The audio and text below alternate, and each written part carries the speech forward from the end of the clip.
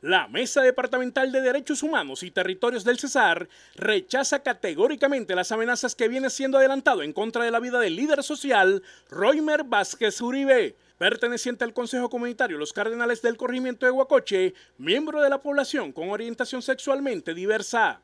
Roimer Vázquez Uribe actualmente es representante del movimiento social Huacoche Diversa en el departamento del Cesar. Las organizaciones LGBTI del departamento se solidarizan a quienes se les están vulnerando sus derechos individuales y colectivos en busca de la vida y el respeto a las libertades sexuales, reconociendo la diversidad como parte de nuestro entorno. Expresan preocupación por el aumento de las amenazas, persecuciones y estigmatización a líderes sociales y defensores de derechos humanos y el aumento de la criminalidad y el resurgimiento de los actores armados en el departamento del Cesar. Ante este panorama supremamente preocupante que representa una afectación directa al derecho a la vida, la Mesa Departamental de Derechos Humanos y Territorios del Cesar insta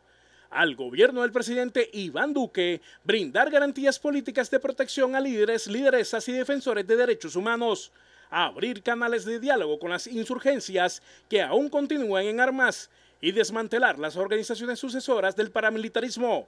al Ministerio del Interior a hacer efectivo el proceso nacional de garantías pactado en el acuerdo final para una paz estable y duradera acordada entre el gobierno y la FARC en La Habana. A la Fiscalía que se investiguen las amenazas a Roimer Vázquez Uribe y que se tomen las medidas jurídicas correspondientes que lleven a su esclarecimiento y promuevan la justicia